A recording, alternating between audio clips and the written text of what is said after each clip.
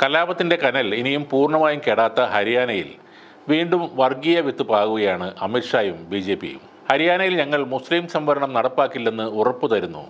കോൺഗ്രസ് ഹരിയാനയിൽ അധികാരത്തിലെത്തിയാൽ O B സിക്കാരുടെ സംവരണം തട്ടിയെടുത്ത് മുസ്ലിങ്ങൾക്ക് നൽകും എന്നാണ് ഹരിയാനയിൽ ബി ജെ പിയുടെ പിന്നാക്ക വിഭാഗ സമ്മേളനത്തിൽ കേന്ദ്ര ആഭ്യന്തരമന്ത്രി അമിത്ഷാ പറഞ്ഞത്.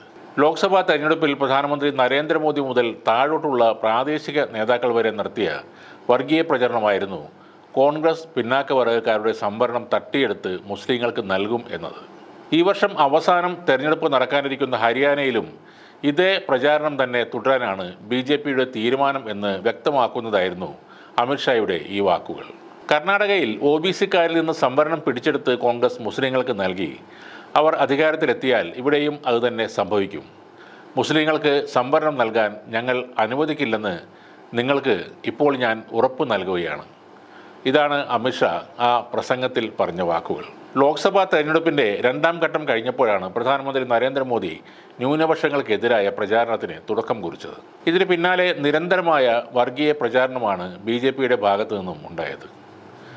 കോൺഗ്രസ് ഒ ബി സിക്കാരുടെ താലിമാല വരെ പൊട്ടിച്ച് മുസ്ലിങ്ങൾക്ക് നൽകും എന്നായിരുന്നു ഏപ്രിൽ ഒന്നിന് രാജസ്ഥാനിലെ ബൻസ്വാഡയിൽ നടത്തിയ പ്രസംഗത്തിൽ പ്രധാനമന്ത്രി നരേന്ദ്രമോദി പറഞ്ഞത്. രാജ്യത്തിന്റെ സമ്പത്തിനുമേൽ കൂടുതൽ അധികാരം മുസ്ലിങ്ങൾക്കാണെന്ന് കോൺഗ്രസ് പണ്ട് പറഞ്ഞിട്ടുണ്ടെന്നും വീണ്ടും അധികാരത്തിൽ വന്നാൽ രാജ്യത്തിന്റെ സ്വത്തെല്ലാം എടുത്ത് നുഴഞ്ഞു കയറി വന്നവർക്ക് നൽകുമെന്നും അത് അവരുടെ പ്രകടന പത്രികയിൽ പറയുന്നുണ്ടെന്നും നരേന്ദ്രമോദി പറഞ്ഞിരുന്നു. കോൺഗ്രസ് അവരുടെ പ്രകടന പത്രികയിൽ പറയുന്നതനുസരിച്ച് നമ്മുടെ അമ്മമാരുടെയും പെങ്ങന്മാരുടെയും കൈവശമുള്ള സ്വർണം എടുത്ത് നേരത്തെ പറഞ്ഞതുപോലെ വിതരണം ചെയ്യും. രാജ്യത്തിന്റെ സമ്പത്തിന് മുകളിൽ ഏറ്റവും കൂടുതൽ അവകാശമുള്ളത് മുസ്ലിങ്ങൾക്കാണെന്ന് പറഞ്ഞത് മൻമോഹൻ സിംഗ് സർക്കാരാണ്. ഈ അർബൻ നക്സൽ ചിന്താഗതികൾ നമ്മുടെ അമ്മമാരുടെയും പെങ്ങന്മാരുടെയും താലിമാലകൾ പോലും ബാക്കി വെക്കില്ല എന്നും മോദി പറഞ്ഞിരുന്നു. എന്നാൽ തെരഞ്ഞെടുപ്പ് കമ്മീഷൻ നിർദ്ദേശം നൽകിയിട്ടും ഈ പ്രചാരണങ്ങൾ അവസാനിപ്പിക്കാൻ ബി ജെ പി തയ്യാറായിരുന്നില്ല. ഒ ബി സി വോട്ടുകൾ തങ്ങളുടെ കൂടെ നിർത്താനായിരുന്നു ബി ജെ പിയുടെ ശ്രമം. എന്നാൽ ഉത്തർപ്രദേശിലും ഹരിയാനയിലും ഉൾപ്പെടെ ഈ നീക്കം ബി ജെ പിക്ക് തിരിച്ചടിയായി മാറുകയാണ് ഉണ്ടായത്. യു പിയിൽ ബി ജെ പി മുപ്പത്തിമൂന്ന് സീറ്റിൽ ഒതുങ്ങി. ഹരിയാനയിലും ബി ജെ പിക്ക് തിരിച്ചടി നേരിട്ടിരുന്നു. രണ്ടായിരത്തി പത്തൊമ്പതിൽ പത്തിൽ പത്തും നേടിയ ബി ജെ പിക്ക് ഇത്തവണ അഞ്ച് സീറ്റ് മാത്രമാണ് നേടാനായത്. കോൺഗ്രസ്സാണ് ബാക്കി അഞ്ച് സീറ്റിൽ വിജയിച്ചത്. ഏത് നിമിഷവും വർഗീയ ലഹള പൊട്ടിപ്പുറപ്പെടാൻ സാധ്യതയുള്ള ഒരു സംസ്ഥാനമാണ് ഹരിയാന. രണ്ടായിരത്തി ഇരുപത്തി മൂന്ന് ജൂലൈയിൽ നൂഹ് ജില്ലയിലുണ്ടായ വർഗീയ സംഘർഷത്തിന്റെ ആഘാതത്തിൽ നിന്ന് ഇപ്പോഴും ഹരിയാന മോചിതമായിട്ടില്ല. തെരഞ്ഞെടുപ്പുകൾ മുന്നിൽ കണ്ട് ഹരിയാനയിൽ ബി ജെ പി മുഖ്യമന്ത്രിയെ മാറ്റുകയും ചെയ്തിരുന്നു. കർഷക പ്രക്ഷോഭങ്ങൾ രൂക്ഷമായി അടിച്ചമർത്തിയ മനോഹർലാൽ ഖട്ടറിനെ മാറ്റി നയാബ് സിംഗ് സൈനിയെ അവർ പുതിയ മുഖ്യമന്ത്രിയാക്കി.